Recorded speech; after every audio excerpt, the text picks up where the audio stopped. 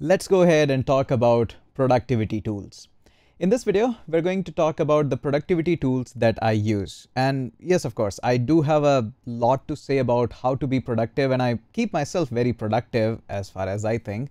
And in case you haven't watched one of my talk, which is on modern time management, you, you should go ahead and check out that. That was one of the TEDx talk, a heavily viewed, a high viewed uh, talk that you should watch. It is not your ordinary books which just says, hey, keep your mobile phones away and all of that. It's, it's a modern concept and modern take on how one should be productive.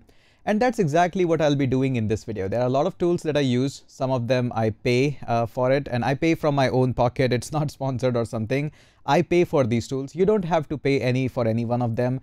I'll just walk you through what I personally use, where the AI part of this is going on and how I keep myself productive. So that's a whole raw kind of a video where I'll just walk you through what I use, for what purpose I use them and how the thing looks like to be that much productive to put up a course on Udemy, to use uh, all of my time in workout, maintaining this channel and another Hindi channel. So a lot goes on into my life. And I think a breakdown might help you a little bit to get yourself tiny bit more productive. So that's all for this video. And in case you are new here, my name is Hitesh. I make a lot of coding videos and uh, I talk about what's happening latest in the tech. I talk about AI. I talk about building uh, things along with me like SaaS application or React application and all of that. So in case you're new here, consider hitting subscribe and uh, let's go ahead and get started. Let me share the screen with you. Uh, we'll be uh, getting in a very organized way of how things are going on and what productivity I'm looking up for and how this is go going on. So the first thing about the productivity that I would like to go on uh, with the AI assistant. So this is one thing which I think everybody needs to have in this modern age. Assistant, come on, I can write that, AI assistant. And turns out there are a lot of AI assistant which can help you to work out with the things and there is no shortage of them. And in case you are looking forward for that, there are uh, like OpenAI as known as uh, ChatGPT. We have uh, Gemini uh, from the Google, which is absolutely free. Even OpenAI is up to a lot of extent is also free. And we also do have uh, Claude from Anthropic, a lot of them. What I believe is you definitely should be having at least one of them in your daily day-to life. Along with the Googling of the stuff, if you try to use them because this is going to become de facto very soon in the future. So I think using all of them or at least one of them is going to definitely make you productive. I'm mostly biased towards the OpenAI still. I'm an early user of this product and I use that. Uh, Gemini also, I am uh, not super happy with that. Uh, the results are decent, great, uh, not that much useful. Probably it's not in my flow that much. That might be the case. Uh, Claude, uh, I have recently started to use it for a whole lot of code and how does it behave. It's just an exploration phase. I don't do much of the research or ask questions to it. Let's just say I forgot that what's the command for doing certain things. I prefer to go in the OpenAI and uh, use for it. That's that's one of the case. So I think that in today's modern age and world, there needs to be at least one of the coding assistant or AI assistant that you should have. Almost every product is getting built up just with the AI assistant. And what's happening and what I'm able to see now that you don't need a separate app for the AI assistant. This whole thing is getting very mushed up. Now, wherever you're using, there is there is an AI assistant in whatever you are doing. I'll walk you through with that, that how this all is changing. So this brings us to another productivity tool that I use, which is uh, Terminal. So I do a lot of work in the Terminal. Uh, terminal. So uh, Terminal, uh, command line prompt, whatever you want to call, I use this a lot. And one of the productivity hack that I use is with the Warp. Warp, uh, the reason for using Warp as a terminal because it comes up with its own AI tool and AI assistant. So I don't need to jump into another AI tools and start with that. And that's what I'm seeing. You'll notice that as I mentioned more of these productivity tool, they are coming up with their own wrappers, or I would say not wrapper would not be a correct word, own implementation of the how the things actually work. So for example, in the Warp, most of the time I'm asking it's the question around uh, DevOps stuff. I forgot a command. I forgot how to open up the ports or I forgot how to have a firewall setup. I can just quickly ask in the terminal and don't need to leave the app and I can just quickly just get the job done. The whole point of this whole productivity thing is get the job done. So whatever helps me to do so, whatever helps me to do faster, that's what I'm, my pick is. So I was really a lot into the AI assistance of that initially, but then I moved into the app and now whatever the app I'm using, it's actually serving me as like, hey, this is all needs to go. So for the terminal, I'm using Warp and uh, I haven't checked their website for, for a while. What's happening there? So yep, looks same.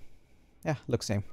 Anyways, let's go ahead and next. Uh, obviously, you need to take notes. And this is where I'm little uh, onto a different side of the things. Obviously, you need to take notes. What I'm using for taking the notes are actually two versions of it. First of all, I'm still a old school, so I am now onto the iPad. So I take all of my notes on the iPad with the Apple Pencil. Uh, I tend to use it. I love it. I can share the notes and everything. And whenever whatever I'm writing, I can make videos with that. So that's one of the reason why I prefer iPad a lot. I can write down my raw original thoughts into that. But apart from this, I use one more thing, which is Notion. Uh, Notion has been a part of my day-to-day -day writing the notes and everything for a really long time. So these two things are still there. And what's interesting is I initially used to like brush up these thoughts and everything using another AI assistant come up here, but now Notion is also tends to providing me the AI uh, to rephrase the things and sometimes just get the idea, really nail it down. So use that. Another thing for which I use Notion is actually YouTube also.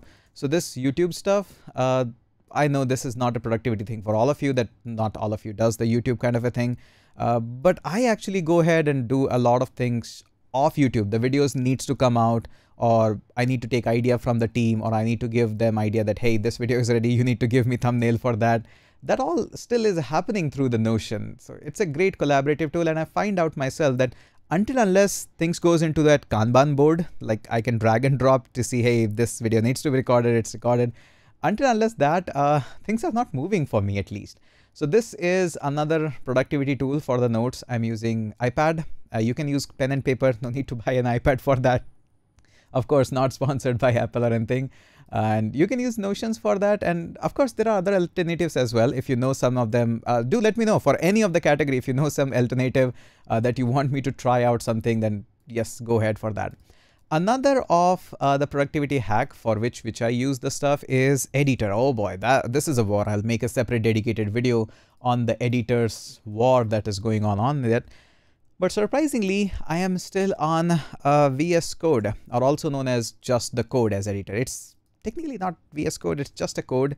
You get the point. So for the whole of the editor jargons, I'm using still code, VS Code. I know there is cursor out in the market. I know there's Zed, there's Void. I'll talk about them separately, but as of now, the editor of the choice is just VS Code. I'm super fast in that. I know a lot of keyboard shortcuts and the flow, the whole mechanics is set up for me. So I'm not looking forward to change at least as of now, but definitely I'm always open in in trying out the new things. But what has changed in the VS Code are the plugins and extensions. A lot of extensions, again, as I said, there is an AI integration everywhere, so I'm using a lot of them. So some of the AI helper, uh, definitely I highly recommend you to also try some of them. Uh, I've been using Codeium, I've been using SuperMaven, I've been using GitHub Copilot, whichever works in what uh, I tend to just lean on that. These days I'm using uh, Codeium much more uh, than anything else. It works, I like it. But again, you don't need to use this specifically what I'm mentioning. What I'm saying is try to use at least one of them. This will help you because these days, uh, recently I was talking to the founders of Hashnode and they said, hey, we have integrated GitHub Copilot. Every single developers, we have bought the license, we, have, we have given it to them that, hey, use it. Days are not really far where your organization will buy these kinds of licenses or will uh, simply say that, hey, go ahead and use it so that you can be more productive and more faster of the thing, do things faster. And at that time, if this tab is bothering you too much that, hey, I'm not able to accustom with the tabs hitting and saying that, hey, which one is working, it might be really late for you. So at least go ahead and use some of the helper. One of the best thing which I like about these helper is uh, writing my GitHub uh, push messages. I'm really bad in that. And all these AI helpers, when I click on that GitHub message, it does write it automatically based on the context and what I've worked. Oh man, that very tiny thing, but I somehow like it. Probably not much of a big deal for you, but yeah, this is for me. Uh, last one that I have noticed recently uh, works really, really well is uh, time tracking. And uh, turns out there are a lot of time, time tracking applications that you can install on your system. some of the companies which allows you to do remote work, they actually install these kinds of application in your system. And I happen to have one on my machine on my own. Nobody installed it for me. I installed it to keep a track of productivity, how much productive I am on the system or I'm just scrolling the reels. Once you have that measure and the metrics, turns out it's really nice. Another thing which I really like is a constant reminder of the time that how is it passing and all. If you notice here on the, if I open up a new tab, you see this, uh, this year will end in three months. It keeps me on the track that, hey, there's only three months left in the year. So I keep these things, whatever the target I have, I actually use this. So track your time, some kind of extension or something, whatever you want to use uh, in the browser, on the mobile phone. Even I have a app on mobile phone which tells me that how much time it is left for a year. You can mark it for any of the event or any date that you can mark. It was paid, I paid for it. I think it's worth it. Whenever I pick up my phone, I see that uh, widget first that, hey, the time is constantly ticking. I'm not uh, left with much of the time. So yeah, that's one part of it. Another thing which I really like is uh, the Google Calendar. The Google Calendar helps me to uh, allow me to have more time. And what I do is I mark my calendar for the events and the things which are coming up, which are really important for me. For example, most of the time around one o'clock in the afternoon, I need to be in the gym. So I just mark my calendar as uh, from one to one from one to two thirty around. I need to be in the gym. So it gives me a good reminder and uh, everybody in my team, there are not many people in my team, but they know that this is a reserved slot. We cannot book anything on that time. So yeah, this actually helps. Again, there is no nothing groundbreaking. I just thought that let me share this, how I keep a track of everything and how I'm doing it. So just a quick summary of that. Uh, yes, this was the whole idea, AI assistant. I'm still into it and a lot of things. But turns out I realized that every single app that I use or every single thing is offering the AI assistant. Why to jump into different apps? So for the terminal, I switched into Warp, uh, which gives me AI assistant, does the job. For the notes, I switched on to Notion. I was in the Notion already. And on the iPad, uh, for the editor, I'm still in the VS Code and I use AI helpers a lot. I highly recommend you to also try it. Some people absolutely hate it. It doesn't allow them to think and go into the Zen mode, but I think you need to get accustomed that we are moving toward, we have already moved into AI age. And this one is really important, time tracking. You have really no idea once you start measuring your time and the productivity when you're doing so, uh, it actually makes you much more organized and focused. Whenever I, it's not like I'm not taking off time or I'm not scrolling the reels, but at least I'm not doing sitting here. I want to just scroll the reel. I'll go outside of the room. I'll be on the sofa and scroll that so that I know I, am intentionally doing it. And when I'm here, I'm the most productive uh, as far as I know. So this is the basics of how the productivity looks like. I hope you have gathered some of the insights from it. I like to keep things simple, no too many fancy stuff, just keep it the basics and keep everything less cluttered. Nothing is on my desk usually. Nothing is on my desktop. I'd like to keep my desktop absolutely clean, not too many icons and everything. The more you keep yourself organized and clean, uh, I find myself being more productive.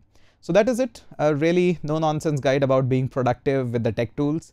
Uh, hope this has helped you. In case yes, uh, do let me know in the comment section. I would absolutely love to make more such videos for you. That is it for this video. Let's catch up in the next one.